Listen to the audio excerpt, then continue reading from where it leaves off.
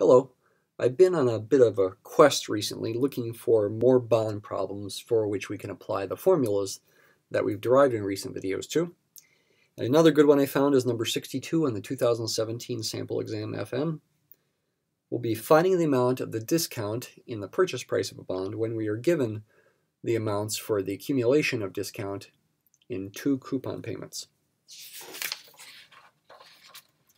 So here's the situation. It's kind of an, a strange situation here. We've got a 40-year bond, so a very long term, purchased at a discount. The bond pays annual coupons instead of semi-annual coupons, so that's just something to be careful of. Uh, we can certainly deal with that. That means n is 40, and t is going to be in years instead of half years. The amount for the accumulation of discount in the 15th coupon is 194.82. The amount for the accumulation of discount in the 20th coupon is 306.69. We want to calculate the amount of the discount in the purchase price of this bond. Evidently, the price of the bond will be lower than the redemption amount, so it's bought at a discount. What is that difference is the goal. A couple other strange things here is we don't know what the yield rate is and we don't know what the coupon rate is. So this could seem strange and difficult at first, and even when you know what to do, it still is a little tricky to actually solve the problem. Um, one formula that will be helpful is a formula we've written down in recent videos, a formula for PRT, principal repaid at time T in the teeth coupon payment. When the bond is bought at a premium, it really is a principal repaid. This is paying down the balance or book value of the bond. Is a positive quantity in that context. When the bond is bought at a discount, this is going to be a negative quantity. The formula for this in terms of the redemption value, C, and the modified coupon rate, little g, with yield rate J, looks like this. So that's going to be one formula that's definitely helpful here. We can use it based on the givens that we have, the 15th coupon payment of 194.82 since this bond is bought at a discount, will really be the opposite, the negative of PR at time 15. And I can deal with that up here by just switching around the roles of G and J to deal with that negative sign. This is really a positive quantity, though, because it's bought at a discount. J is going to be bigger than G. Uh, N is 40, T is 15 there, 40 minus 15 is 25, plus 1 is 26. And the other fact is that 30669 will be negative PR at time 20. C times J minus G times VJ to the 40 minus 20 is 20, plus 1 is 21st power. It may not be clear how this information will help us find the amount of discount in the purchase price, but certainly one thing that should stand out to you right away is oh, if I divide one equation by the other, say the top by the bottom, this part, c times, in parentheses, j minus g, those will cancel. And the vj's will be reduced to a vj to the fifth power. So 194.82 divided by 306.69 0.63 five, two, three, four, two, eight will then equal Vj to the fifth power. Okay, I divided the top equation by the bottom equation. 184.82 divided by 306.69 is this.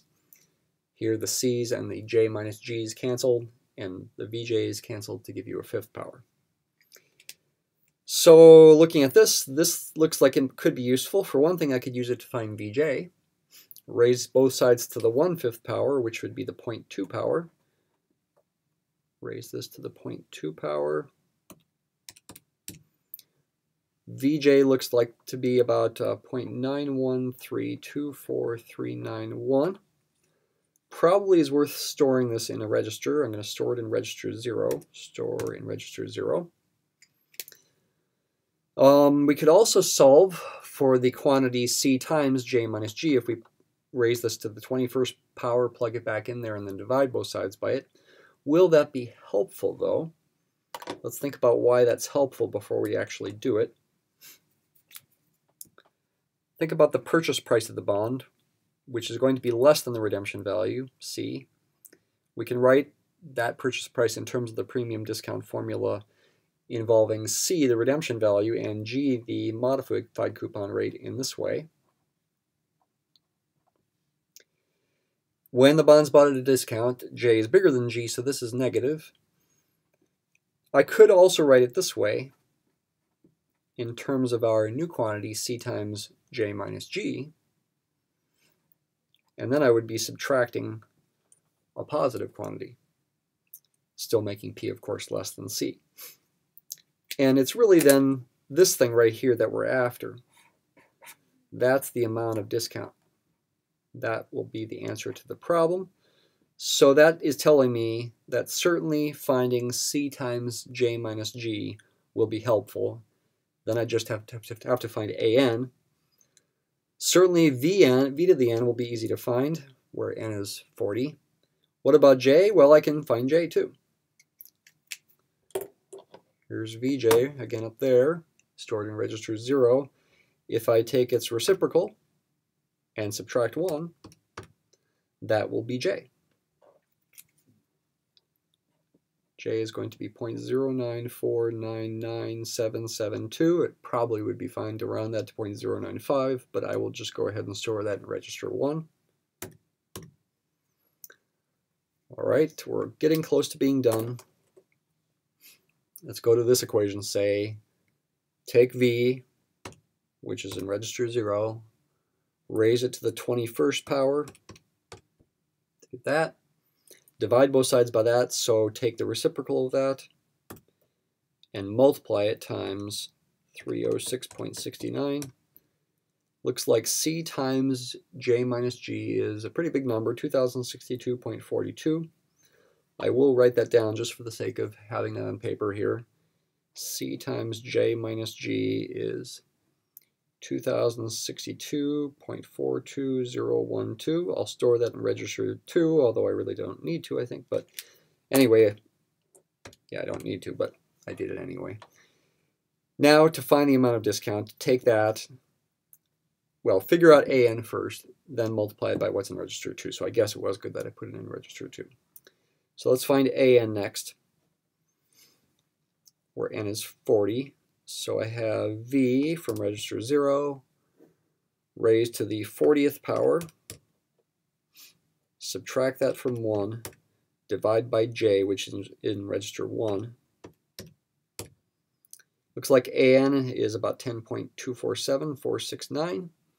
Now just multiply that by what's in register 2. The answer is kind of big for a bond problem, but it is the correct answer, and it is one of the options on that sample exam from 2017, problem 62. It is choice E, that the amount of discount is 21134.59, and this gets rounded to 21135 on the sample exam.